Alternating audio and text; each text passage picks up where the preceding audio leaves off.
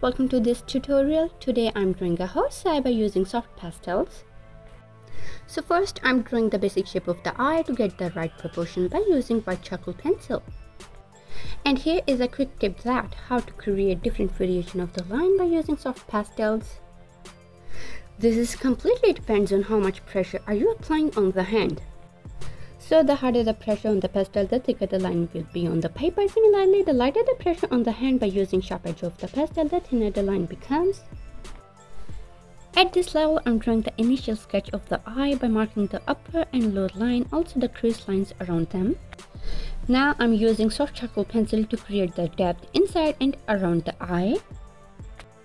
Here, I'm sketching the buckle strap of the bridle with the help of white charcoal pencil. I'm blocking in the darker values to show the thickness of the strap. And in this drawing, the size of the iris is almost equal to the size of the eye. As it's an eye of a brown horse, so I'm using brown and white charcoal pencil to create light brown values. After that, I add another layer of a light brown tone. Then add orange brown tone for the color contrast. Then I add another brown layer of red and don't worry, it will get very smooth after smudging. For an even coverage, it's good to use tissue or cotton fabric for blending. To achieve the darker and lighter values in the skin, I'm using variety of colors. I'm also using black and white charcoal pencil for more depth and shine. I'm using soft charcoal pencil to add more depth and details inside of the iris and around the eye. Then add light brown tone to define the other shade.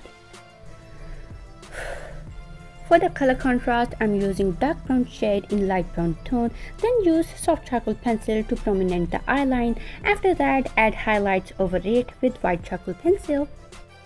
Here, I'm adding more darker values at the shaded area and for lighter values, I'm applying white charcoal layer over light brown tone.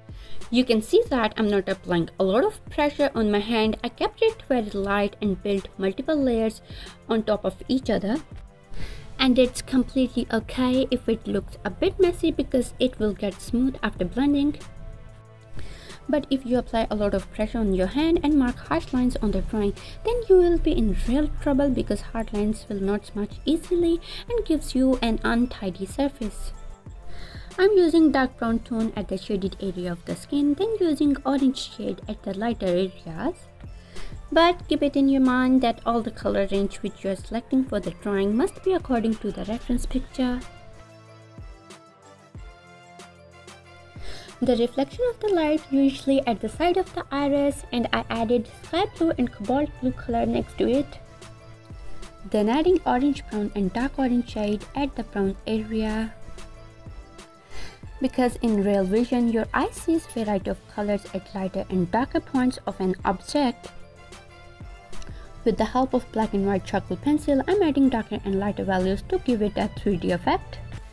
And again, I'm adding another layer of orange shade to balance the color variation of the skin. Right here, I'm adding darker values for shading by using dark brown tone. Then using black and white charcoal pencil for more details, depth and highlights. And you might notice something that in drawing some area of an object are little darker compared to the actual ones.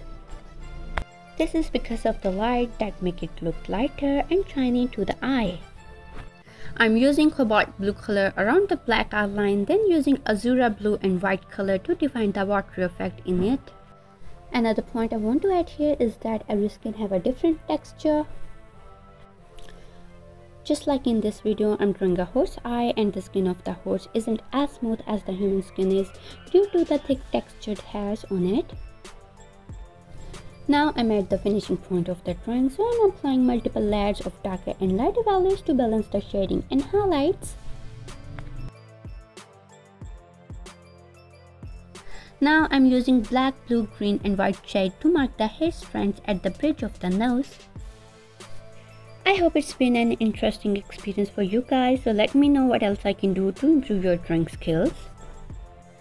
At this point, I'm drawing the upper eyelashes by using white charcoal pencil and I'm creating the clumps of hairs in opposite direction. Then I'm marking 4 to 5 strands of hairs at lower eye line, also adding gray shade in between the hairs. For more exciting tutorials, check out my Patreon account where I have uploaded a lot of real-time videos with more details for those who want to learn each and every step. At the end, don't forget to give me a thumbs up and subscribe to my channel and I'll see you next tutorial. Till then, take care. Bye-bye.